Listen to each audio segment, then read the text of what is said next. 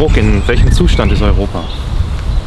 Ist ein Zustand, der von der wirtschaftlichen Stärke her gut ist. Wir haben die Finanzkrise überwunden, wir haben Wachstum, wir haben weniger Staatsverschuldung als USA oder als Japan. Äh, von dem Grund muss man sagen, ist hervorragend. In den letzten fünf Jahren sind 12 Millionen neue Arbeitsplätze geschaffen worden. Aber in der inneren Struktur äh, ist es nicht so gut. Wir sind nicht gut genug aufgestellt, um die Herausforderungen der Zukunft zu beantworten, weil hier zu viel Uneinigkeit und zu wenig Mut äh, bei Mitgliedsregierungen liegt. Jetzt verlassen Sie das Europäische Parlament in wenigen Tagen. Ist das die richtige Entscheidung gewesen, nicht mehr zu kandidieren, gerade in den Zeiten, in denen doch Europa vor sehr großen Herausforderungen steht? Wir sagen in Westfalen, alles hat ein Ende, nur die Wurst hat zwei. Äh, und es ist richtig, ich werde in den nächsten Tagen 73 Jahre alt. Und dann ist mir schließlich doch die Erkenntnis gekommen, dass die Familie noch Anspruch auf etwas hat. Aber ich bin ja nicht aus der Welt. Ich gehöre im Bundesvorstand, in den ich gerade neu gewählt wurde, an, äh, dem EVP-Vorstand und ähnlichem. Und deswegen werde ich schon versuchen, weiterhin Leute zu ärgern. Nach 40 Jahren im Parlament, wie hat Europa Sie geprägt? Natürlich hat es geprägt. Es ist ein Parlament gewesen, das äh, äh, damals neun Mitglieder vertrat, das nichts zu sagen hatte, heute 28 Länder und fast alles zu sagen hat. Und diese Entwicklung ist natürlich auch für den Abgeordneten bedeutend gewesen, weil man natürlich seine Arbeitsweise völlig verändern musste. Dass man ein höheres Maß an Verantwortung entwickeln musste. Damals kam es vielleicht nicht so ganz darauf an. Heute äh, entscheidet man über Schicksale von Menschen und Ländern im Kollektiv des Parlaments. Und äh, ich glaube, das bedeutet, dass man sich sehr viel ernsthafter mit Europa beschäftigen muss, auch als Abgeordneter, als es in der Vergangenheit der Fall war. Jetzt ähm, leidet Europa in erster Linie unter dem schlechten Image. Können Sie sich das erklären? Ja, wenn man über etwas nicht gut redet, äh, dann glauben es auch die Leute, dass es nicht gut ist. Die Mitgliedstaaten verfahren ja nach dem Motto, wenn es Sonne scheint, waren es Berlin und Paris und wenn es regnet, war es Brüssel.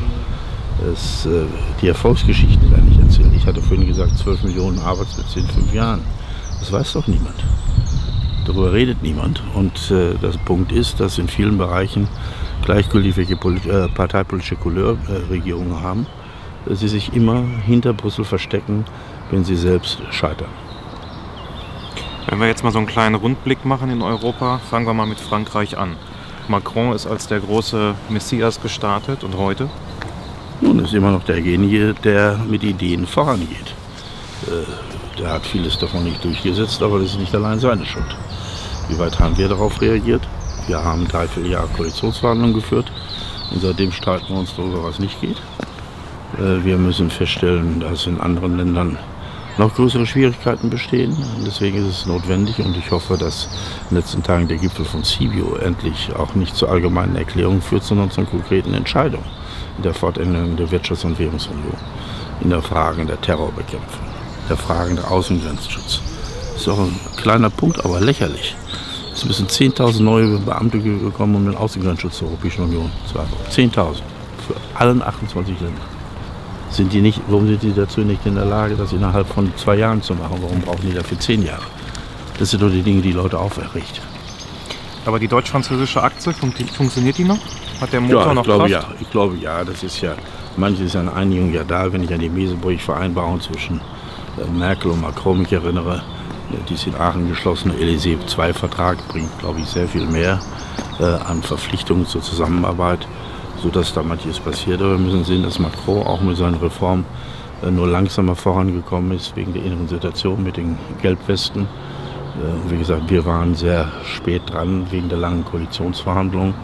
Aber es ist nach wie vor richtig, was Deutschland und Frankreich wollen, klappt nicht alles. Aber nichts klappt ohne Deutschland und Frankreich. Deswegen haben diese beiden Länder weiterhin eine große Verantwortung für die Entwicklung Europas. Ein anderes europäisches Sorgenkind ist Viktor Orban. Das ist ein Freund von Ihnen, ein Weggefährte. Jetzt haben Sie sich doch ein Stück weit entzweit im Laufe der letzten Monate, im Laufe der letzten Jahre. Ist Orban innerhalb der EU noch tragbar? Also er ist nicht in der EVP tragbar. Ungarn müssen wir in der Europäischen Union halten. 80 Prozent der Ungarn sind für Mitgliedschaft in der Europäischen Union, wie auch in Polen. Äh, aber wir müssen sehen, dass dieser neue populistisch-nationalistische Ansatz diesen Ländern nicht weiterhilft und uns nicht weiterhilft. Äh, diese fast religiösen Auffassungen von Orban in diesen Fragen sind unerträglich. Aber wir müssen sehen, dass beispielsweise in Polen die große Chance besteht, eine entsprechende Partei dort abzuwählen. Und das muss man letztlich auch in äh, Richtung Ungarn hinbekommen oder Rumänien, wo wir auch ähnliche Fälle haben. Wir müssen immer deutlich machen, dass Demokratie und Rechtsstaatlichkeit und Meinungsfreiheit und Medienfreiheit eine Bedingung für Mitgliedschaft in der Europäischen Union ist. Und das muss auch weiterhin für Mitglieder gelten. Wie kann man jungen Menschen Europa schmackhaft machen? Ich glaube, in vielen Bereichen haben die jungen Menschen heute mehr Offenheit für Europa, die Erasmus-Generation, als dieses in der Vergangenheit der Fall war. Äh, auch wenn ich in bestimmten Punkten mich über Urheberrecht und ähnliche mit jungen Leuten streite, ist das ja nicht schlimm. Ich habe den Eindruck, dass sie Europa sehr viel mehr als Chance begreifen, äh, als das die junge Generation vor 20 Jahren getan hat.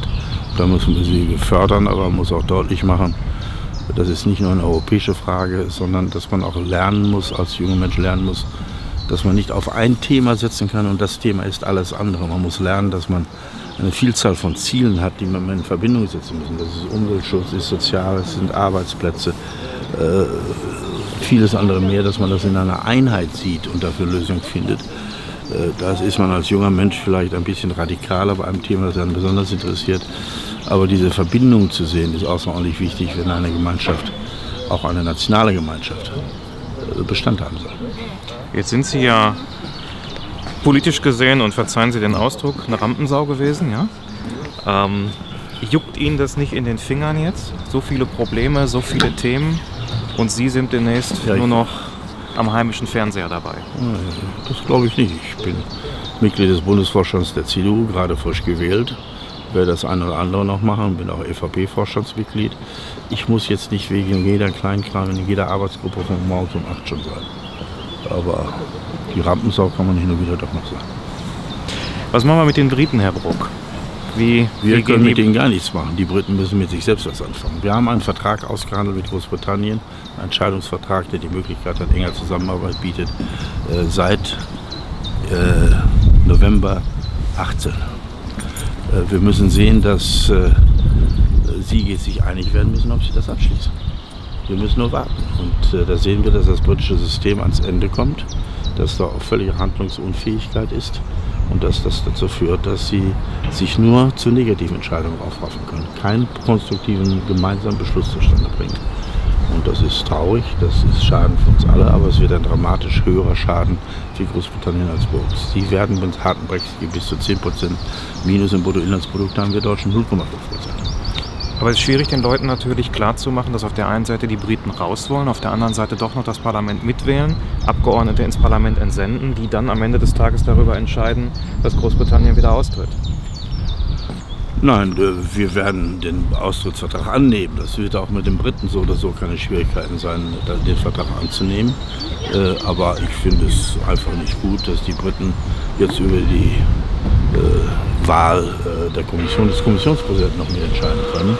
Und ich hoffe, dass sie da ein Gentleman's Agreement hinnehmen, obwohl sie völliges Recht haben, als vollgültige Abgeordnete abzustimmen, dass sie nicht versuchen, auf die Strukturen der Zukunft Einfluss zu nehmen.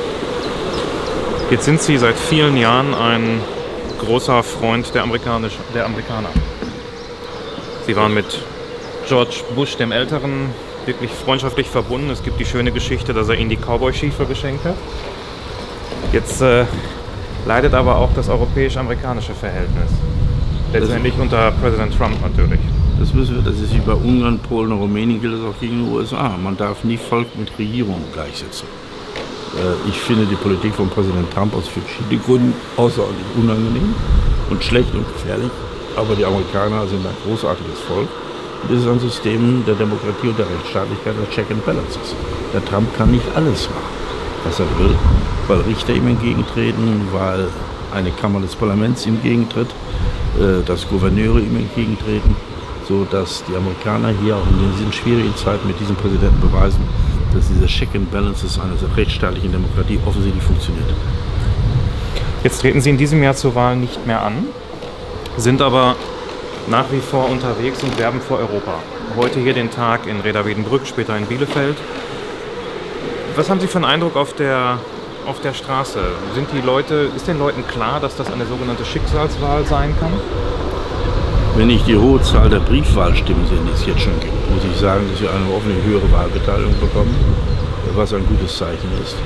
Und ich hoffe, dass in den nächsten 14 Tagen es gelingt, noch mehr Bewusstsein dazu zu schaffen, äh, dass wir ein Europa haben müssen, ein Deutschland haben müssen, in dem nicht die ewig Gäste uns immer ins Unglück gestürzt haben. Nationalisten haben Deutschland immer ins Unglück gestürzt. Äh, dass wir denen entgegentreten können, um dieses Europa fortsetzen zu können, das in 70 Jahren Frieden, Freiheit und Wohlstand gebracht hat, aber das auch in der Lage ist, die Herausforderungen der Zukunft in Globalisierung, Digitalisierung, Migration, Terror, äußere Sicherheit und so weiter zu bewerkstelligen. Und dafür brauchen wir mehr Europa in diesen konkreten Bereichen, weil das kein Nationalstaat mehr kann. Viele junge Menschen haben das gut begriffen, aber in der mittleren und älteren Klasse ist das noch nicht ganz so da. Und ich hoffe, dass das in den nächsten 14 Tagen noch stärker gelingt. Vielen Dank, Herr Bruch. Dankeschön.